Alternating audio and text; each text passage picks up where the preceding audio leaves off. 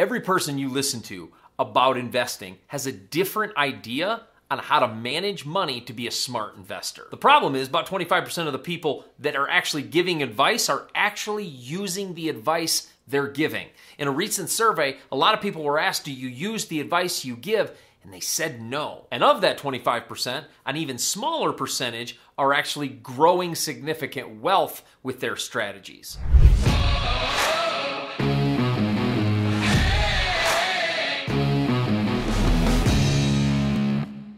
In this video, I'm going to share with you five strategies that helped me create a passive retirement income at the age of 40 so that I could truly live my mission and help people start growing their wealth. The first thing you want to do is you want to cut everything you can in order to invest. And at first, this feels a little uncomfortable, and I'll talk about how to make this a little more user friendly in a minute. But the first thing you want to do is cut all of the stuff you don't need so you can invest more and more and more. So, can you cut down to one car instead of two cars? Can you cut all of your cable and streaming services so you have more money to invest for a time? Can you drive more affordable cars so again, you have more money to invest in real estate? There's three things my wife and I did about 10 years ago that changed our financial picture because it freed up more money to invest and it gave us more power over our finances seeing our investments grow. The first thing we did was we cut all our credit cards and we lived on cash for a while. We wanted to live in reality. See, credit cards, if they're not being paid off every month, is kind of living in a fantasy world. We're spending money we have not yet earned. So we're actually spending fake money in hopes that one day we'll earn that money in order to pay it off. So we decided we're cutting these cards in order to live in complete reality. That way, if we don't have it, we can't buy it. We cut down to one car. We sold my wife's car and we had my car, and then we decided do we really need another car? And we thought, well, let's give this a trial for two to three months and see if we can actually make it on one car. And you know what? For the first few months, it was kind of uncomfortable and I needed to go someplace and she needed to go someplace and we had to maneuver around that. And then it became smoother and it became smoother and it became smoother the more we communicated and the more we were making sure we understood each other's calendars. And you know what ended up happening?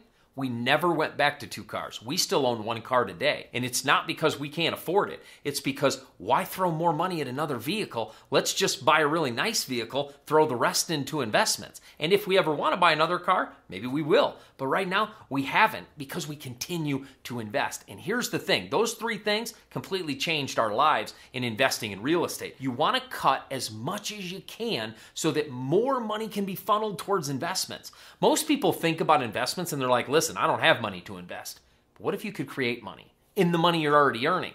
And then, of course, later on, earn more money to invest. But right now, let's look at all the places we're spending money that we don't have to spend money. And it might be $100 a month at first. And then maybe we grow that to a few hundred dollars a month. And then we ask our boss for a raise, and that can jump into 400 a month. And all of a sudden, it start to pile, and we have six or $7,000, and we might be able to put down on a piece of real estate that pays us every single month. So understand there's something you can do every single month to cut just a little bit more. And the third thing we did is we house hacked. We bought a duplex and we lived in half of it and rented the other half out and lived completely for free. So we didn't have a mortgage payment for a amount of time. So guess what we could do with that extra money? Hint, hint, right? We could invest more in real estate. So when you ask, how do I really manage my money to be a smart investor? Part of it is cut the fat so you can invest as much as possible. Money is for multiplication. That's the mindset I want you to have.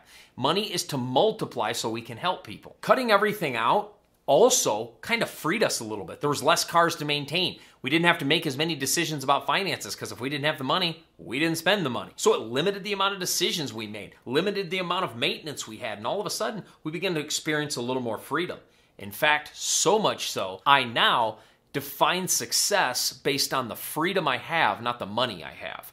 Because the truth of the matter is, a lot of money with no freedom is not success to me. I'd rather have net worth of 10% of what it could be if it afforded me real freedom versus a massive net worth where I had to work and be on a treadmill to always create that income. So, cutting things so you can invest in real estate also frees you up and gives you more time to think about real estate to think about other types of investing you can do. The second thing you want to do is identify your I feel right when.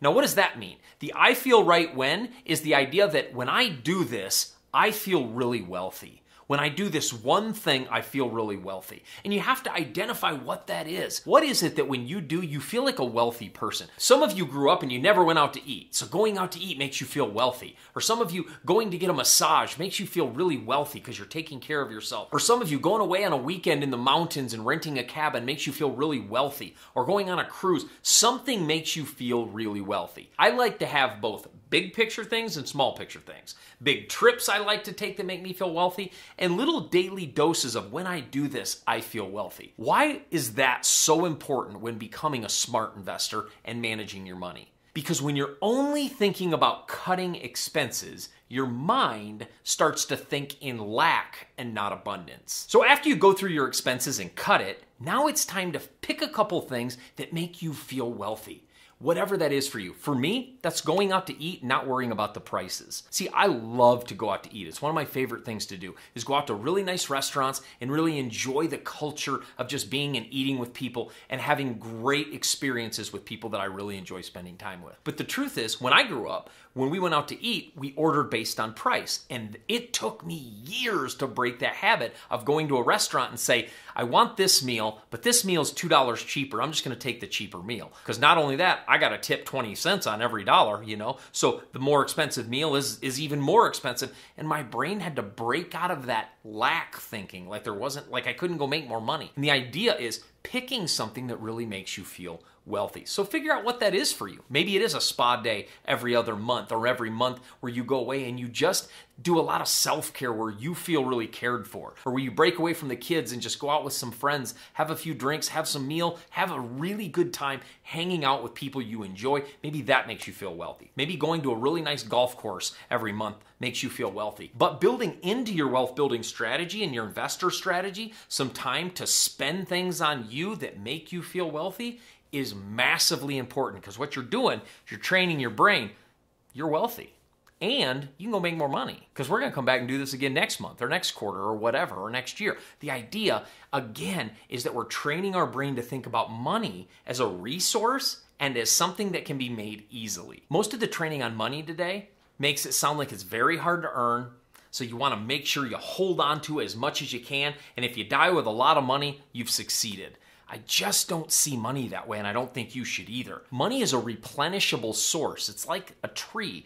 You cut it down, it can continue to grow. That's the beauty of it. You can continue to grow more. The idea of money is not only do we cut, but we also want to spend. You actually spend your way to wealth a lot faster than you'll save your way there if you do it inside of a system, a disciplined system that allows you outlets and release valves so that you can go out and feel wealthy and then continue to invest and continue to invest. It took my wife and I a really long time to understand the value of this. And for a while, we just didn't do it because we didn't believe in it. Because we thought, if I go down that road, where does that stop? Right? I'll go here and I'll say, oh yeah, I feel I feel great doing this and feel great doing this. And then all of a sudden you're just back in debt. And so we just held it off for a long time. But just pick one thing one thing that you can do per month that makes you feel really wealthy. It changes your brain. And I really want to see your financial picture grow. You want to be a smart investor, you've got to start investing into your own mindset that will teach you that you really are wealthy.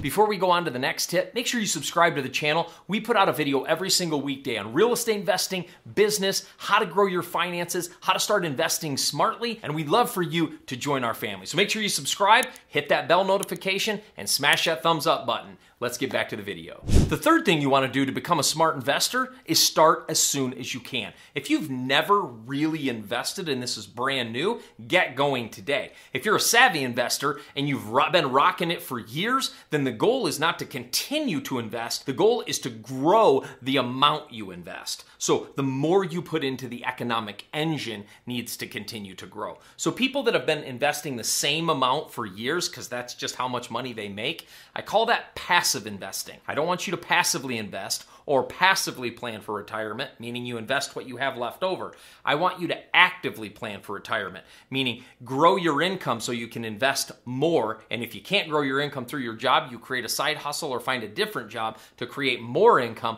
so you have more to invest. But the day to start that is right now. There's a saying that goes, When is the best time to plant an oak tree? 20 years ago. When's the second best time? Today. Get started right now so that it continues to grow and you can feel the benefits of that as soon as possible. The fourth thing you want to know about becoming a smart investor is make investing a line item in your budget. My wife and I changed our entire financial picture when we started making investing a line item, meaning every single month, 10% of our income goes into an investment or a wealth account, whether we have it or not. Every single month, 10% goes into that account. Everything we make, doesn't matter if we sell a couch that we're not using anymore or we earn revenue through our businesses, 10% of it goes straight into our wealth account because we're investors. That is an expense. That's not our money, that's our investments right? It's different. And making investments part of your budget again allows you to see listen, this is something that we do whether we have it or not. We have to earn and stretch ourselves to make sure that we have this money to invest. And if you only have $5 to put into a wealth account, fine. Put that $5 in there, get the habit down, and then as more money flows, you've got the habits to support that extra income. And as a side note, your age will dictate the intensity and the risk of your investments. The younger you are, the more intense you can invest and the more risk based investments you can make. The older you get, you need to be a little bit more conservative, invest in things that are a little bit more guaranteed and safe as to preserve your capital. But it doesn't matter if you're 20 or 70, investing now is always the right decision. And the fifth thing you want to do to become a smart investor is stay very consistent with these four things. The number one thing that torpedoes success is lack of consistency. I go to the gym once, I don't have a six pack, and I ain't going back. The idea is that if you want real results, it's got to be over time. The success formula is the correct effort over time. I used to think it was just effort over time, but then I want you doing the right things. It's correct effort over time. You do the right things long enough, you're going to see success. Jim Rohn used to say, most people aren't patient enough to be successful. It's a great statement because a lot of us, we live in such an instant gratification world that we really want things right now. And if you're not willing to wait for it, the good things won't really come. So you got to make sure you do these four things very, very, very, very consistently. And no matter how you feel, no matter if you really just want to go blow a bunch of money, we're not going to do that because our mission and our goals are pointing us in another direction. But I also want to give you a gift to help you navigate this exact process. I wrote a book called The Seven Secrets of Managing Money and Creating Wealth, and I want to give it to you for free today. So go down in the description, click that link. You're going to be taken to a page, and you can snag your free ebook of the seven secrets of managing your money and creating wealth.